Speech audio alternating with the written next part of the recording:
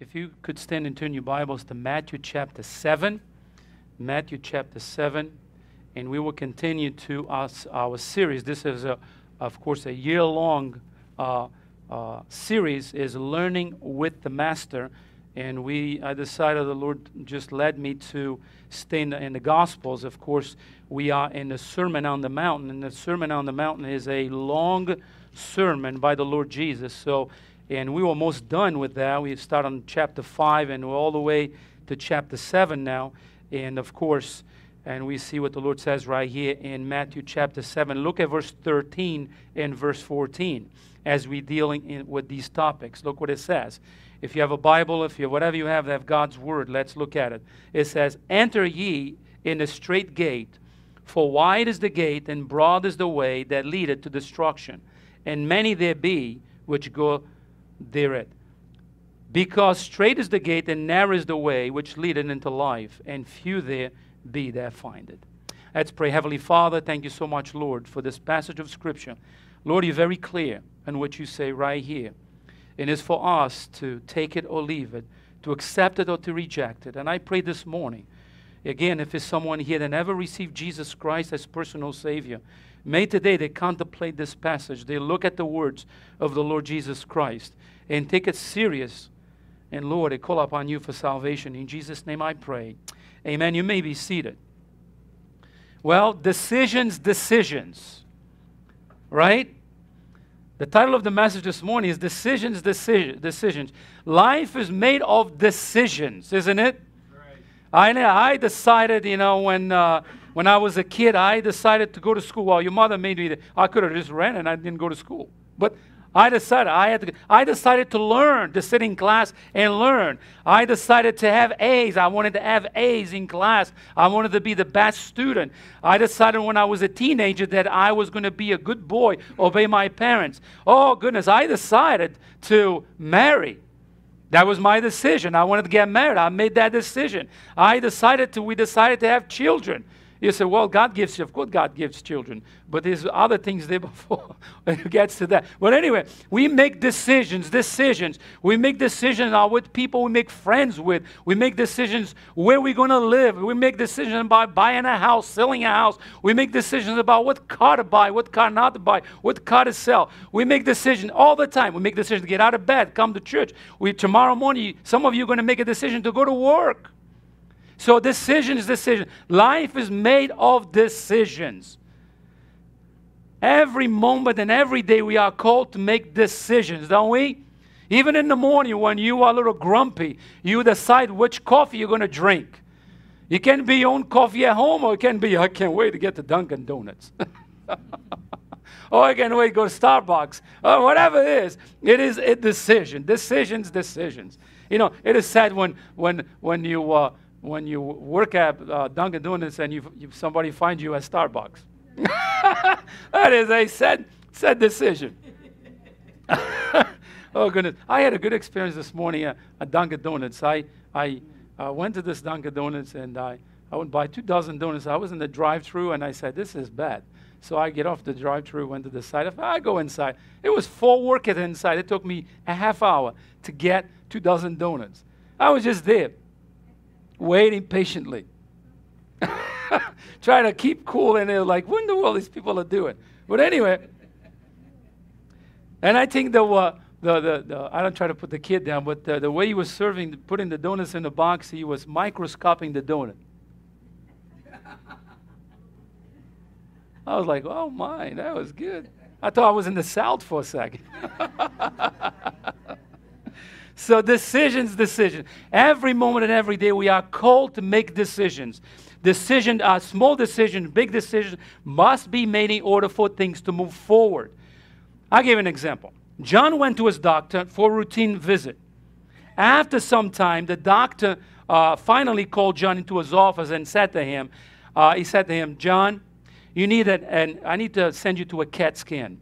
I don't like the way your your heart is, and when I'm, I'm putting the little, whatever, the little thing on you, I don't know what you call that. Uh, I'm not medically inclined. Uh, he said, it doesn't sound right. Something is wrong with your lungs, and I want to I want a CAT scan. I want to make sure that you're okay. John said, Doc, I'm just too busy and I don't have time for that. Maybe next time. And the doctor said to him, That's your decision, John. Maybe next time will be worse. So John walked out the door, he made his decision. What I'm trying to say is decisions, decisions. Uh, John, uh, and like many people like us, we postpone things because we, we don't want to make decisions at the spur of the moment sometimes. We get apprehensive many times, and we, we feel depression, we walk away, we don't want to make decisions. But let me tell you, we need to learn to make decisions. Because if we don't, things don't move forward. All right? Okay, so you go home, or you left home this morning, is a pile of dishes on your sink. You go home from church and you look at it, let me tell you, the dishes didn't walk away or wash themselves. They're still there. And you look at them, you go, ah, I do it later. Well, tomorrow morning you get up and, ah, I do it later. And guess what? It keeps piling it up. And before you know, you get a mess in your kitchen. Actually, one time, I used to, when I used to work in construction, I walk in somebody's kitchen, and I was like, oh, couldn't walk in. It was dishes, uh, dishes all over the counters. It was dishes on the floor. I think what they did every time they need dishes, they went by it instead of washing it. But decision, they made a decision not to clean up. Mean, mean for my culture, it's got to be spotless, okay? it's got to be clean. So, what about, I'm talking about physical decisions. What about spiritual decisions? Well, then we have to make spiritual decisions as well. Because let me tell you this life is short. And one of these days, you're going to depart from this world. Life is short. And as you like it or not, you and I, all of us here, or those of you who are following us on social media, we have an appointment with our Maker. And what you decide here on this earth would, would the, the, well, go to the destiny or, or make you where you go, or the decision you make here will cause you to, to go to the other side, and, and we will go to one side or the other. And let me tell you, there's no middle ground. And I'm going to explain to you what I'm talking about. So, your decision about your spiritual condition before God and eternity will be determined by the road that you walk here on earth. It is possible to make wrong decisions and to take the wrong roads to go to, to, to, to, go, to go to heaven. No, it's only one road to go to heaven. It is a, the Bible says, it's a narrow way and is a broad way, which on many people go, of course. So what you decide to, to do while you are on earth determines where you go and when you depart from this world. So, now, that shouldn't take any of us by surprise here. After all, we are surrounded by, of course, all kinds of people in this world. But let me tell you this we are surrounded by death. Every, people die each and every day. Loved one dies, friends die. And deep inside, we know that the, the one day we will go as well. The fact that you, uh, you will uh, not live forever is a common theme throughout the Bible. The Bible is clear that we won't live forever. If some people in this world, of course, different denominations, there people in this world that believe in reincarnation. I'll tell you what, there's no such thing. Once you live and you die, you're gone. Actually, if you go to James chapter 4, I want you to show you a couple of verses. I'm going to let you look from the Bible on a couple passages here. Go to James chapter 4, verse 14. There's a couple verses. The Bible is clear that you live, you, you were born, you die, and you're done. That's it. You have one chance to make it right. Look what it says in James 4:14.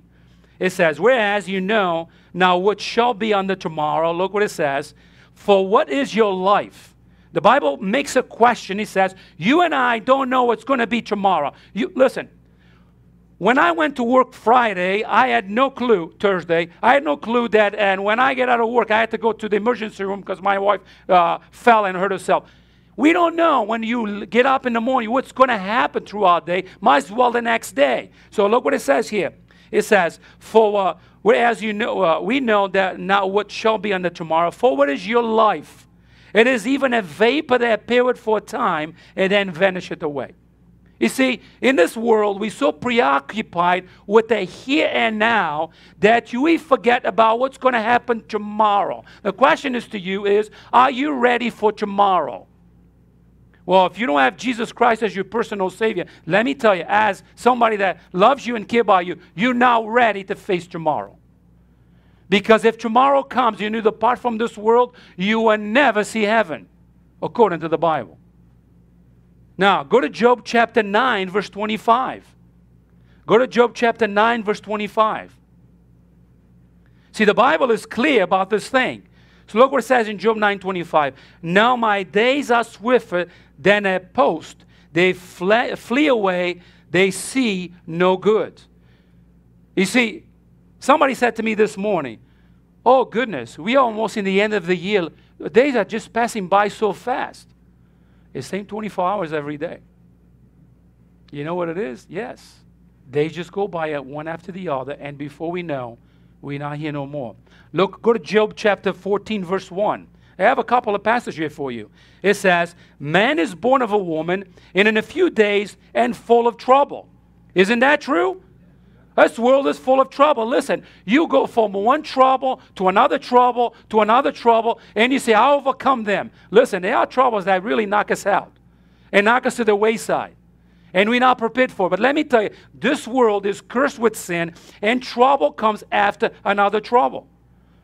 Some people have trouble paying their bills. Some people have trouble with their health. There's all kinds of troubles. And listen, as long as you live in this world, there's always trouble. Job is right. Let me read some more other, other passage in, in the Bible. It says, Psalm 78, verse 39, it says, For he remembered that they were uh, but flesh, uh, when they passed away and cometh not again. Psalm 90, verse 10, it says, The days of our years are threescore years and ten. And if by reason of strength uh, there uh, be fourscore years, yet is their strength labor and sorrow, for it is soon cut off, and we fly away. Psalm 90, verse 11, it says, For who knoweth the power of thine anger, according to thy fear, so it is thy wrath. In Psalm 90, verse 12, is a good verse right here. It says, So teach us to number our days that we may apply our hearts into wisdom. I think this verse, if everybody in this world will grab this verse and say, Oh goodness, I have to number my days. If we number our days, the Bible literally says, Think about what's going to happen tomorrow. You don't have assurance of tomorrow. Count your days. If we do that, I'll tell you what, there will be a lot more wisdom in our world. There will be a lot less hate and anger and all those things that are going on in our world because we know, oh goodness, I have this many days and after that, I'm going to meet my make. I'm going to meet my Maker. Somebody used this object lesson one time. He brought a jar to church, big jar, full of um, um, was this um, the cereal? It was like um, little chocolate, not like little brown cereal balls. I forgot the name of the cereal. I don't eat cereal. Cocoa Puffs. There you go. Thank you. And he says, if we put this and put this as our days, and if we learn to, to number our days, think about it. Every day you take one out. You take one out. You take one out. It's going to come one day, there'll be nothing left. Oh, that's the way we are. We say if we number to count our days, it'll be one day, there'll be no more days left. So, how many days you have left? You don't know. How many days I have left? I don't know. We just praise the Lord for this day that He gave us.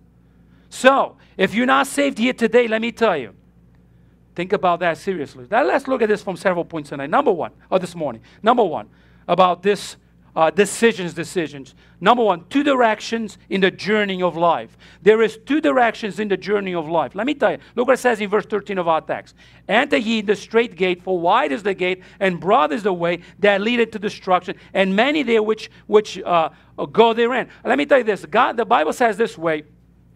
In this journey of life, it is two ways, it is two roads. There's not a middle road. I know some people believe that is a purgatory. I tell you what, you show me in the Bible or you find purgatory because I want to read about it. There's none. I mean, I've been studying the Bible for almost 26 years. I didn't find that passage yet. I want to know what the purgatory are because this thing about don't matter how bad you've been, you go there to be purified until God remembers you so it can take you to heaven. And we done here praying and doing all kinds of sacrifices. You don't forgot to remember them. I don't see that in the Bible. What I see in the Bible is a, a road that leads to destruction and a road that leads to heaven. Which road are you in this morning? So, In, a, end of, of the sermon, Jesus teaches this Jewish audience right of course, that heaven is not a gain because they were descendants of Abraham. Jesus teaches them that heaven is gained by the road you decide to put yourself on. I was like, all right. So my great grandfather went to church, and my great grandmother, they were members of this church. Or my great grandparents were members of this church. Or my parents were members of this church. They're all baptized in this church. Well, I go to this church, I go to heaven. No, you're not. No, you're not. It depends which road you put yourself in. Some people think that because I have go to this church and because I put my name there, I'm going to heaven. Listen, folks, God didn't die for denominations, He died for people. So, many in our day want to tell us that there are many paths a person can travel through life, which are. Many teach and believe that all roads lead to heaven. That's the teaching of our day. It don't matter what you believe in, as long as you're sincere with yourself, God is merciful and is a loving God. He will take you to heaven. It's like, you know, God, move over, I'm moving in. Well, heaven is not our place. We go there by the mercy and grace of God. But we think like, God, move over. I, you know, been a good person. I meant well. So we today, when we do this, uh, many actually don't even look at the Old Testament. They just look at the New Testament because oh, we, the, the, God of the Old Testament is a, a bloody God, is a is a, a God that brings a lot of judgment, and God of the New is good. So we love the Jesus of the New. So we don't look at the old one, but I tell you what, it's the same God, it's the same Lord. So we today we live in this world. I tell you what, Satan has a way of deceiving people, isn't it? Don't matter what you believe. You just long you're sincere, you will go to heaven. It don't matter what doesn't matter what you do. Well, it does matter. Amen. It does matter which road you put yourself. Yep. You see, uh, many teach then believe that all roads lead to heaven. And it don't matter what you believe in, as long as you, like I said, as you sincere. I wonder what type of Bible these people are reading from. My Bible doesn't teach that. No, there are those who say that Jesus would never send anyone to hell. That is absolutely true. God doesn't send anybody to hell. God created hell for the devil and his angels. But let me tell you, people want to go there. Why hell is full of people? Because that's where they want to go. Let me tell you that this is another mistake people make. God doesn't send anybody to hell. We go there ourselves. Jesus made a way to salvation. Why we reject it? Listen, folks, why is a bunch of people this morning in the golf courses and uh, taking all kinds of vacation, I mean vacation, all kinds of pleasures out there, and they don't, re- they don't even think about today is the Lord's day? Today is the day we t- should take aside to worship our Savior. And I tell you what, folks, this phenomenon is happening in our churches, independent Baptist churches through our nation. I tell you what, I talk with people. They are closing down Wednesday night services. They are closing down Sunday night evening service. You know what? People don't think that they need God anymore. Right. You say, Well, I don't have time. Listen, there's one thing that we do. It's the same 24 hours for all of us. Right. We make time. I guess that they are correct. However, Jesus corrects regardless of what what, what world they think they are. But let me tell you, it says in Romans chapter 3, verse 4. God forbid, yea, let God be true, and every man a liar. As, a, as it is written, thou, uh, that thou, thou mayest be justified in thy sayings, and mayest overcame them in art the, and, uh, I'm sorry, when thou art judged. So God is true, every man a liar. Of course, that's what God, God doesn't lie. God is real, God is true. So let's spend a few minutes about this here, about this road right here this broad road, letter A, is a spacious road. Lay verse 13. Look what it says is a broad road. Folks, it's like this. Is the current of the world. Everybody's going this way, and some stand up and say, I'm going the other way. The road that leads to destruction, the Bible says, is broad. It means thousands of people are going that way because they refuse to accept what God did for them. You see, The word broad means spacious. Jesus says it is a spacious road which is a person can walk. What does it mean, the broad road? The idea that Jesus is trying to convey is that the broad way is open.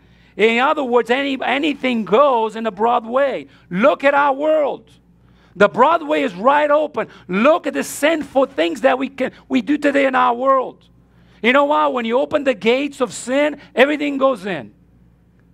You can't do anything like you can you, you, you, can carry your baggage of sin in that road. You can do what you want in that road. You can please yourself as much as you want in that road because you're not accountable to anybody. And listen, you can be the king of that road if you want to. When you walk the broad way, you can be your own person and have and then not have to answer anyone. Remember, this is a song out there that says, It is my prerogative. There's a song there, It's my prerogative. I do what I want to do. Well, that's the mentality of many people in our world. They do what you want to do. Don't tell me I'm wrong.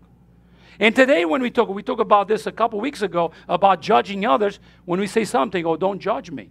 Don't judge me. So you can live life to the fullest, go where you will, do what you will, and be what you will. If you live life and, and you can live life and call the shots, it is easy way to live because there's no, no one to please but yourself. It is what the broad way is all about. And many people like that way. Many people like the broad way. They don't want it, nobody to tell them what to do. So, number one, you weren't really in control on your Broadway as you think. You aren't really in control as you think. Look what it says in Ephesians chapter 2, verse 1. And you had be quickened, who were dead in trespasses and sin. Let me tell you this. Why people are walking in the Broadway? Because they are dead in trespasses and sin. And all of us were there one time. All of us were there one time. We don't think. Like for an example, John chapter 8, verse 44, Jesus uses some harsh words for those who are in the, in the Broadway. Look what he says Ye, ye of your father the devil, and the loss of your father will do. He was a murderer from the beginning and abode not in the truth because there was no truth in him. When he speaketh a lie, he speaketh of his own, for he is a liar and the father of it. Let me tell you, these are harsh words that most pastors will stay away from it. We don't even dare uh, call people these names, but guess what? Jesus said it right out. He said it right out. We don't like some, we don't like to say those things. We don't want to offend people, but let me tell you, God just said it as it is. It says that those who are walking in a broad way, I don't want to offend anybody. The Bible says they are the sons of the devil or the children of the devil. You say, well, that's harsh. Put up with Jesus. I, I, that's what the Bible says right here. Number two, sin and its consequences. So we think that when you, we are there, we think in a spacious uh, uh, uh, road that we think that we are in control of everything. Let me tell you, sin always brings consequences. Look what it says in Galatians 6 7. Be not deceived. God is not, God is not mocked. For whosoever men sow it, that shall he also reap. We think that we can live life in this broad way. We think we can do what we want to do. And guess what? There's no consequences. Yesterday, I had to talk with a lady here in my office, crying. She has a granddaughter, 19 years old. See what sin does? I'm going to have all the pleasure that I want. I'm going to do what I want. I'm not going to listen to my parents. Guess what? She's pregnant. Guess what now? She doesn't know where to go. Mom and dad kick her out. And now they come crying, I don't know what I'm going to do with my grand. And she said, she's even contemplating abortion. I said, Oh, you don't want to go there. You see, sin brings consequences. And sometimes the consequences are heavy and hurtful. And let me tell you, these people that walk in a broad way think that, okay, they're going to do what they want to do. They're going to live in pleasure the way they want to live. And there's no consequences. Folks, there's always consequences for everything that we do. And this young lady is reaping the consequences of her sin. Sin brings consequences. Some people may think that's not, or, or it doesn't happen, but it's true. Some people think I'm not a bad person. Actually, I'm a good citizen, moral, upright. I live the golden rule. I just don't believe that what you believe. Okay. We can believe all these things and be good citizens and all that, but let me tell you, sin always brings consequences.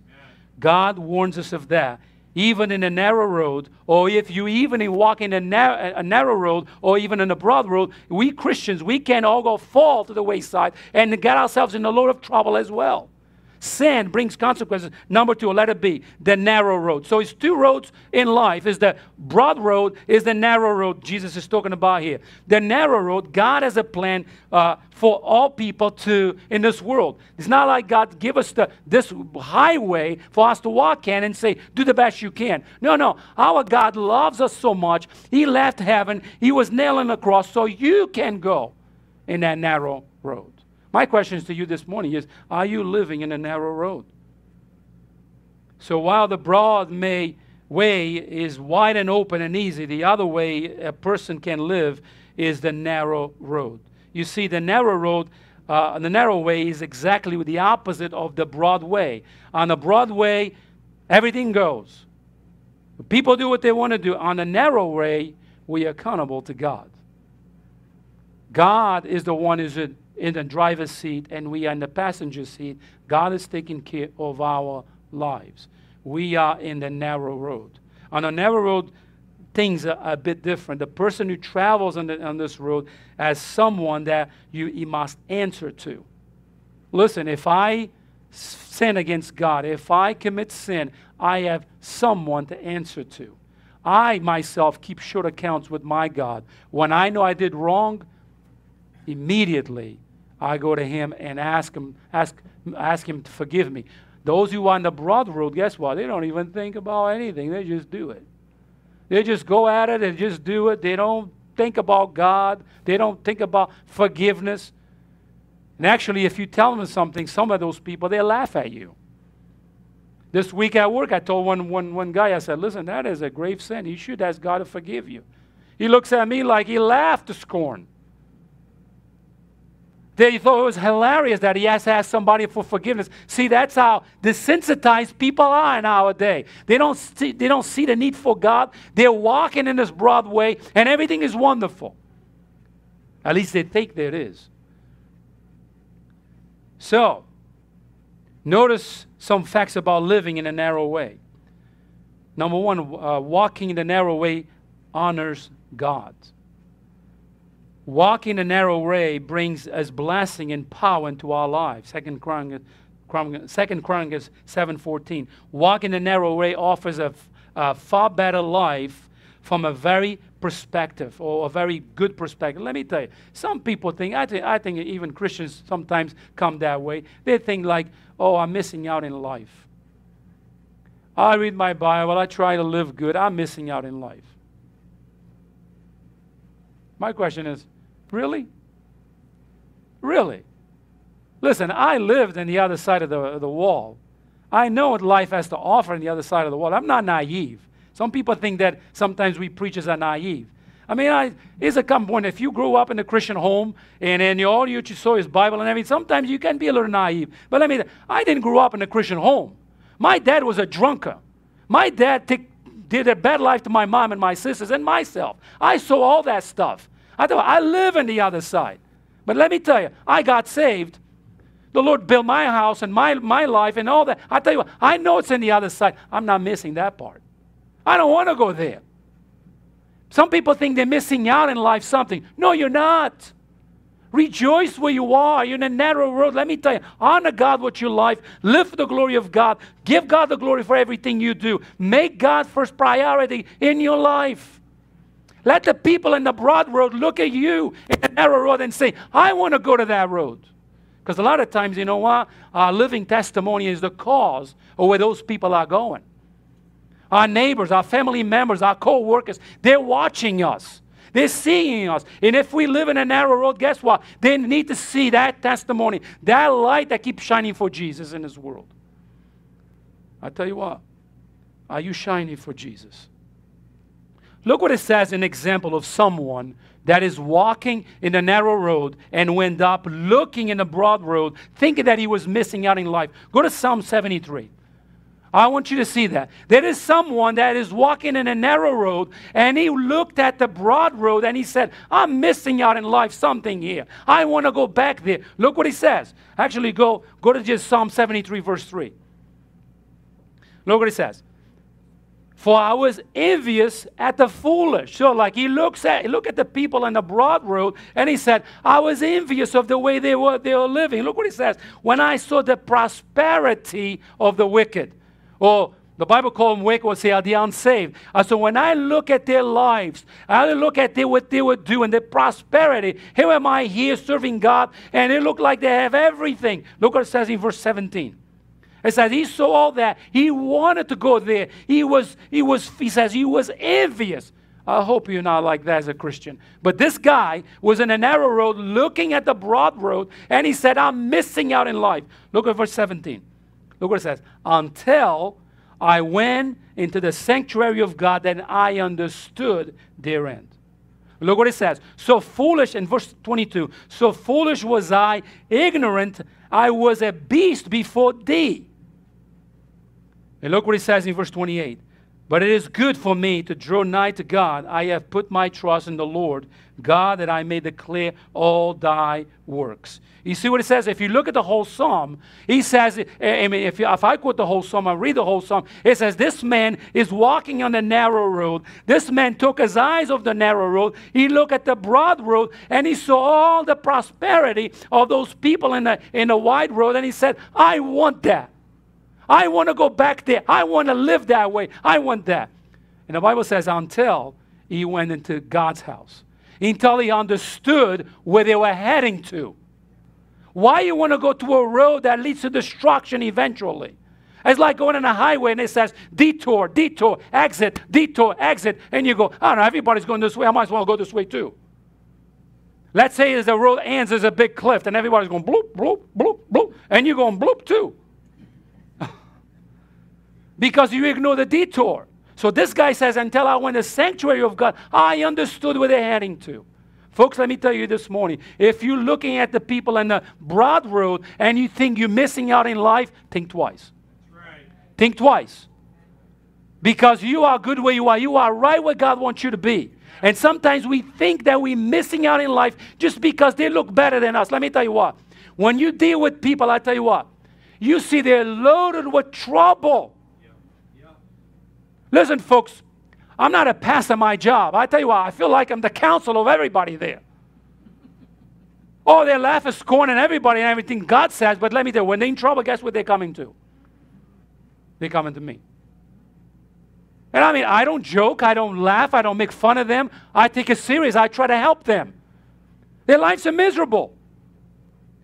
Their lives are miserable. The other day, one says to me, I said, Seems like you have everything together. Like you drive a nice car. How could that happen? I said, I make the same money you make. What do you do with your money?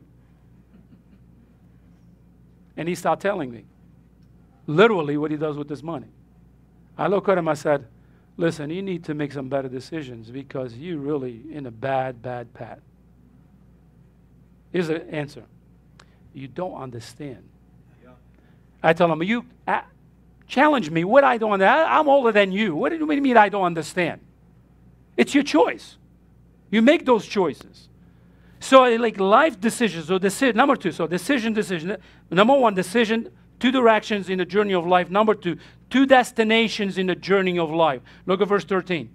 It says, Enter ye in the straight gate, for wide is the gate and broad is the way that leadeth to destruction, and many there be which go therein. So, according to Jesus, there are two roads in the journey of life. One on, uh, uh, is the wide road, and the other is the narrow road. Both roads come to an end. Both roads have a finish line. Now, folks, let me tell you this those roads that we travel, Either way, whichever road you go into, they're coming to a finish line. They will end. It is a destination. Listen, if I get my car and I go from here to my house in Florida, guess what happens? There is a destination. And actually, the GPS even say, arrived at your destination. All right? if you follow the GPS, arrived at your destination. My wife, uh, she hates that stuff. What's that? Sometimes I purposely put the GPS to go home. I'm like, arrive at your destination. but, but it does. You know, So, this road of life that we travel on has two destinations. Let me tell you, the old way that says that all roads lead to Rome, there wasn't the old way, well, all roads lead somewhere. You know, every road that we travel leads somewhere. Some roads come to that end, and that's the end of the road. But two roads in the journey of life. Let me tell you, you are either in either road. There is a broad road, there is a narrow road. My question to you this morning, which road are you in? Amen. And if you in the narrow road, are you envying the ones in the, in the, broad, the broad road? And let me tell you, let's look at this. Letter A, the wide road leads to a place called hell.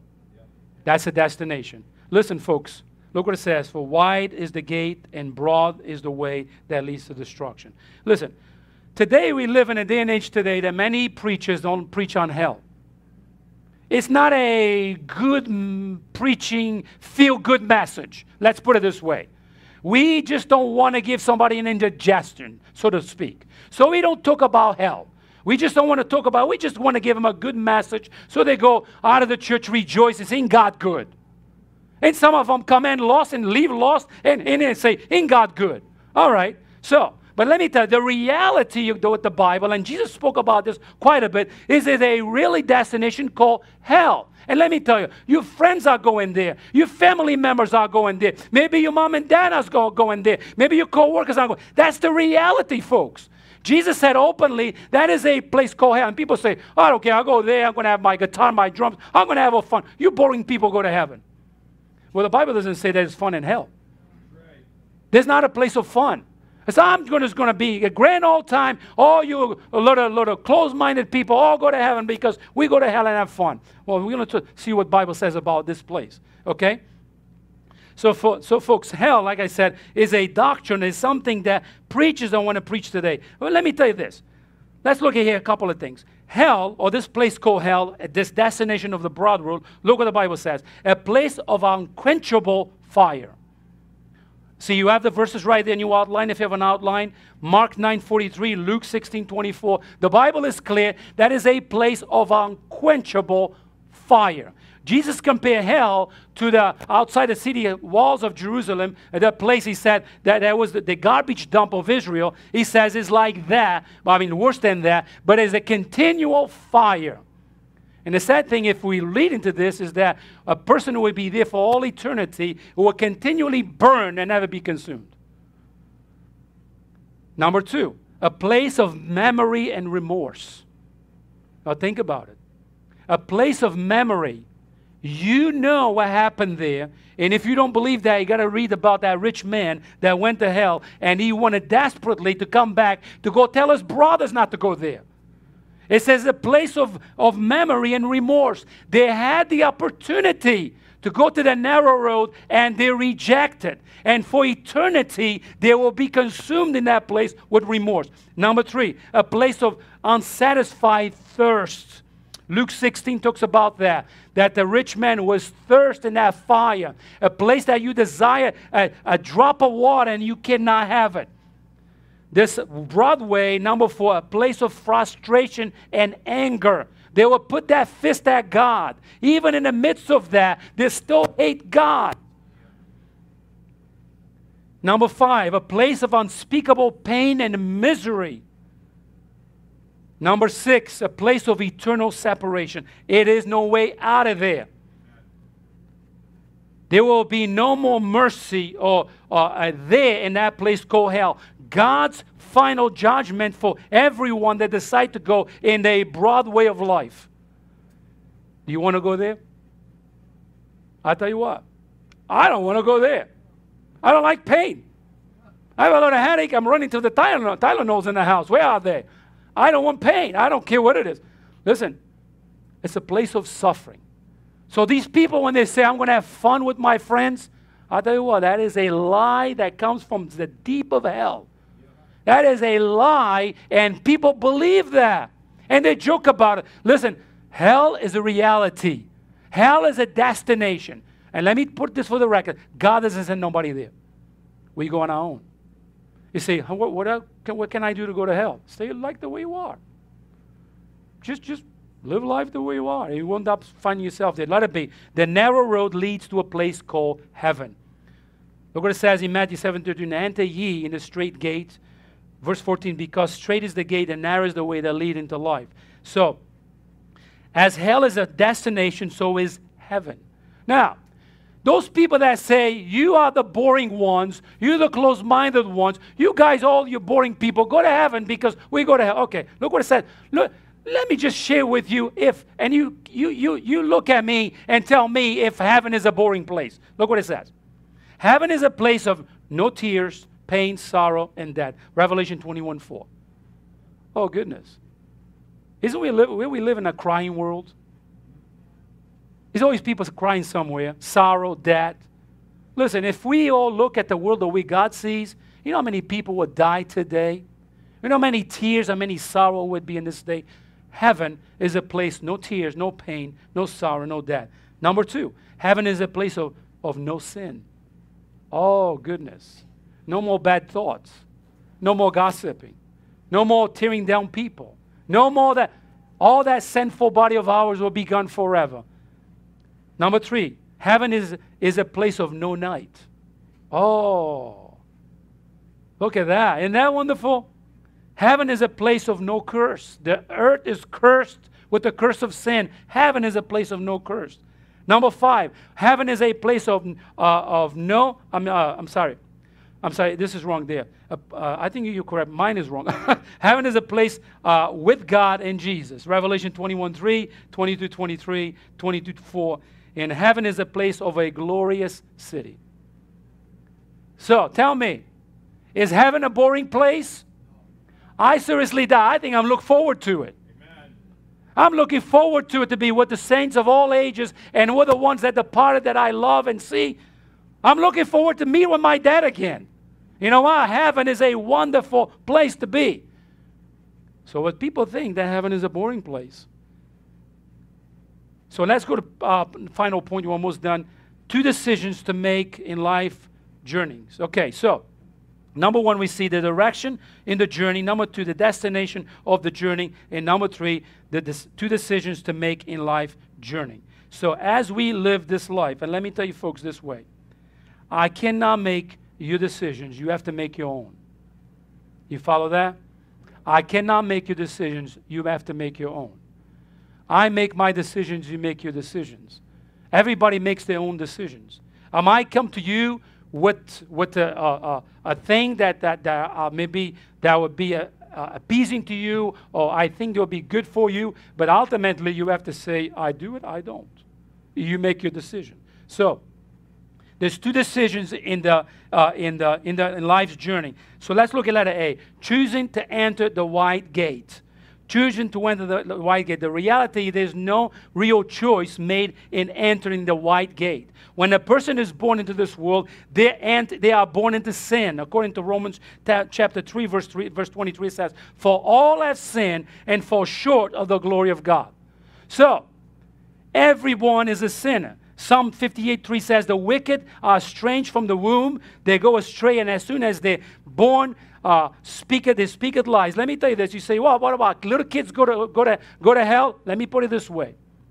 We have one passage in the Bible that teaches on likewise. We teaches that when a kid comes to the age of accountability, when a time when that kid says, now understands right and wrong, he needs a Savior. Amen. When that point, he needs a Savior. There are people in this world, they don't even know what they do in this world. They're just, just existing because their mind is so distorted. We understand that. They're little babies. They don't know that they're even existing in this world. But when they know right from wrong, we need a Savior. So, how you enter this white gate? Are you are born into it? You see, we have an ocean of multitude of people going through this white gate. And we have a few. It's like I saw a picture the other day like this. We saw humanity. I saw this picture, humanity. It's like a, like a river, all black and white. You see a multi, the whole river was uh, people walking. And you see one against the current in color. And that's Christianity. See, when we receive Jesus as Savior, we stand up against the current that goes, or the Broadway that leads to hell. So choosing to enter the white gate. How you choose to enter the white gate, you're already there if you're not saved. As much you, you and I deny, we are already there. Notice that Jesus said to the crowd here, many more will find the way to that broad gate that, that, that people will find the narrow gate. Listen, folks, simply like this. That's why God calls us to go and tell. You know why? Because people are not looking for God. People are simply not looking for God. You try, listen, we have to go and tell them the truth that Jesus saves. And I tell you what, let me tell you, when you leave the church walls, you'll enter the mission field. Your mission field might be right in your home.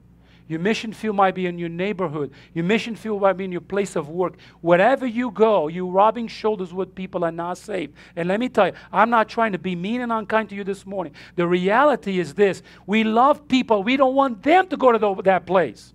We want to take them out of the wide road to the narrow road because they need salvation. You say, I've been telling them for many years. Keep telling them. Right. Keep warning them. Listen, folks, I talked to my dad for 11 long years. He finally got it. We keep doing it and we keep, as long as they live, is an opportunity to tell them. So let it be choosing to enter the narrow gate. While the wide gate is easy to find, the straight gate is something that must be sought out. What I mean with this is when God calls the sinner to, he, he, he draws himself to the sinner, the sinner has to respond. This thing that, you know, we cannot do anything. We can, we can, listen, God did it all. Don't misunderstand me here. God did it all. Salvation was purchased, and God paid the whole price of salvation. But ultimately, you have to believe. You got to repent of your sin and believe. How can you be saved with something you don't believe in? You got to believe in. So you have to want to get out of that wide road and go to that narrow road and uh, just follow the Lord choosing the narrow way. Number one, it is a open gate. Listen, folks, God didn't die for a few folks. I do not believe in Calvinism. God did not die for a few folks. The Bible says, Whosoever will call upon the name of the Lord shall be saved. If you don't go, John 3.16 is another great verse about and the, the, the, the, gate, the narrow gate, is open to whosoever will call upon the name of the Lord. God doesn't turn anybody out. I'll give you an example. There was a little boy that hurt. Don't think this is my house. This doesn't happen in my house, okay? Because I said, Grandma, little boy. No, no. This is a little boy that uh, stole Grandma's cookies. And grandma noticed that he stole the cookies. Stole the cookies. And uh, stole the cookies. And, and, uh, and he liked those cookies because they were good cookies. And every opportunity, stole the cookies. And uh, grandma caught him with the hand in the jar and, uh, and a mouthful of cookies. and, uh, and grandma was not happy. And grandma let him have it. So he went home and crying, and you know, because if he got caught, I don't have no more cookies. I'm, she's gonna put the cookies away. So went home and crying. Mom found out like you gotta go tell grandma, ask her to forgive you. So here goes the little cat go over there, ask grandma for forgiveness, and grandma said, I think about it. You go home, I think about it. Grandma was still frustrated. Cookies were stolen. Well, you know, I ate the cookies. and I, but I tell you what, when we look at, uh, at God, the gate is open. There's no one that goes to God and say, God, I was so bad. I did so wrong. And God says, I think about it. No, he doesn't say that. He forgives all. He's no sense so great that God cannot forgive. So the gate is open to whosoever will. It don't matter what kind of what color you have. It don't matter what language you speak.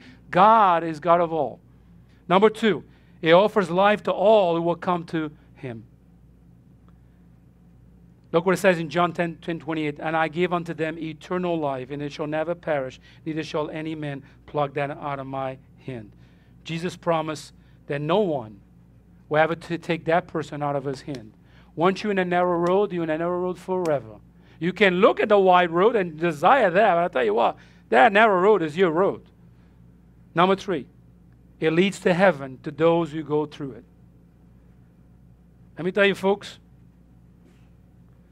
the wide road is very appealing. Pleasure is there. No accountability is there. I do what I want is there. My prerogative is all there in that wide road. And many people in the narrow road look at the wide road and say, I want to go there. I want to go there because I'm missing out. Listen, if you are Christian here this morning and you think you're missing out in life, I'll tell you what, I question your relationship with the Lord. Uh, is it hot or is it cold? I tell you what, if I, my relationship is good with God, I have no desire to go there. Right. No desire at all. Because let me tell you this, we think, listen, God gave us a wonderful world. Amen. Look at our planet. Look at the creation. We can enjoy life to the fullness and praise our Lord every time we do it. I don't have to go there. Why is a Christian that has been saved, been washed, been clean, wants to go back to the cesspools of sin? Did you ever look in a cesspool? Honestly, did you ever look in a cesspool? I have an opportunity because I have a, a one in the house. Uh, and uh, one day I, I, I, I'm, I'm always curious. The guy, I mean, this guy is gross as can be. But anyway, I'm going to give you this little story here. He, he comes out with this, opens the thing, and whoo, like the perfume that comes out of there. He puts this tube in there, and he starts the car, and of course, you know what's in there. And he goes in his car and comes with a sandwich. He's eating a sandwich as the thing, I was like, I'm like, oh my goodness. I'm like, you know, this is really tough. he goes, I do this every day and I'm used to it. I was like, oh my goodness. He's there cleaning my, my septic tank and he's eating his lunch. But, I, but I think we should peek in those things. Let's see, but be curious enough. Well, some Christians or some people they're saved in a narrow road, but they want back. They want to go back to that road of destruction. Why? Don't go there. I tell you what. I conclude with this. Our God is a God of blessings, of mercy and justice and love. I tell you what, you can stay in a narrow road, and I tell you what, God will bless you beyond measure. Look at this man right here. I tell you what, I have to believe in miracles. People say coincidence. I'm like, I'm a living miracle. I shouldn't even be here today. Because I believe in a God of miracles, a God that wants the best for you, a God that loves you, a God that wants to bless you and your home and your family. But guess what? We have to keep our eyes on that road. And at the end of the road, that is Jesus waiting for us. I tell you what, I want to go home, and when I get there, I want him be there to say, Welcome home, and good and faithful servant. I prefer be a servant than try to go to the other road and try to be a king. I will live humbly. And like Paul, I learn to abase and I learn to abound. No matter what life brings me, I will continue with my eyes Amen. on the finish line. Let's pray. Heavenly Father, thank you so much